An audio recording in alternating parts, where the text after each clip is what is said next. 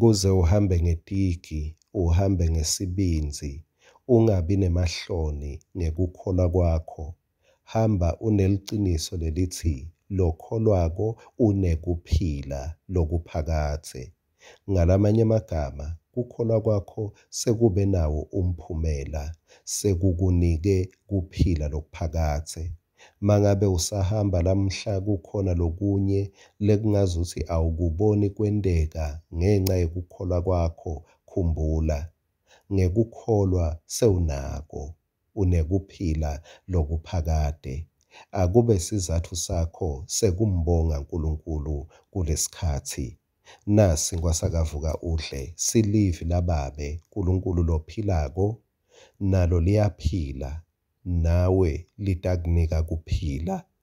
Lamhla sidalithola encwadzini yaGenesis sahluko 12 verse 1 bese sifundza nengxenye ya verse 2 simakadze wathi ku-abrahama phuma eveni lakini nasetihlotsheni takho nasemndenini weyihlo uye eveni lengitakukhombisa lona. Ngitakwenta ube sive lesikhulu. Ngicabanga ukuthi kwaba nesmile kuvesi 2 kumbe kuvesi 1 kwaba lukhuni ukuthi ngishiya umndeni ngishiya sive sakithi ngishiya bonkulunkulu bakithi. Kepha verse 2 wayishintsha indzaba ka-Abraham makathi uNkulunkulu ngitakwenda ube sive lesikhulu ngikubusise. Ake sesigijime-ke sibuke kubaseroma sahluko eh, sahluko 4 verse 17 na 18 njengoba ekubhaliwe ukuthi ngikukhethele ukuthi ube nguyise wetive letinyenti lesethembiso wasemukela kuNkulunkulu labemethemba. Cela ukunake lokho. uNkulunkulu labemethemba. Lowo ke nguNkulunkulu lovusa labafile baphile. Nguye lokhuluma bese kuba khona lokungazange sekube khona. ku-Abraham kwaphela 25 weminyaka akhulumile uNkulunkulu.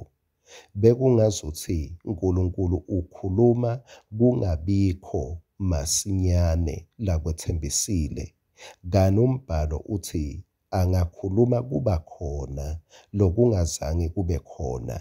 Verse 18 sewuchaza Abrahama uthi Abraham wakholwa wethemba kungekho themba.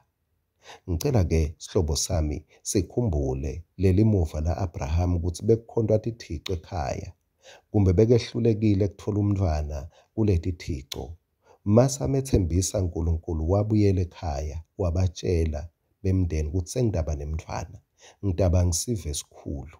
uNkulunkulu ubonakele lo ngisimakathe wangithembisa.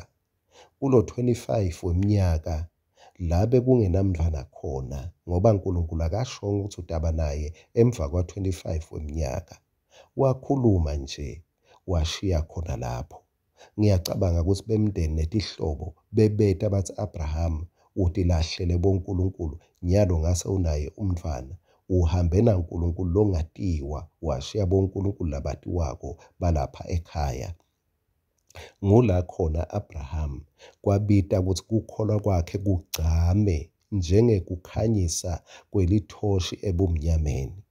Kwakhanya kukholwa kwakhe ngesikhathi angenalutho ebuthakathakeni bakhe kukholwa kwakhe kwaqina nati into letimbili letabamcoka kakhulu Abraham wamethemba uNkulunkulu. Hayi ngenxa yemphumela kepha wamethemba ngoba anguNkulunkulu. Angikwati isihlobo sami kumbe kude mazibithi lathi methembe uNkulunkulu ngoba nangu 1 2 3 umendile. Kepha nyalo umbe kumbe nakuwe kuthulile kuthe du etintweni lebe utibona timcoka lebe ufuna kudwala ngato nakulabanye ngaNkulunkulu wakho.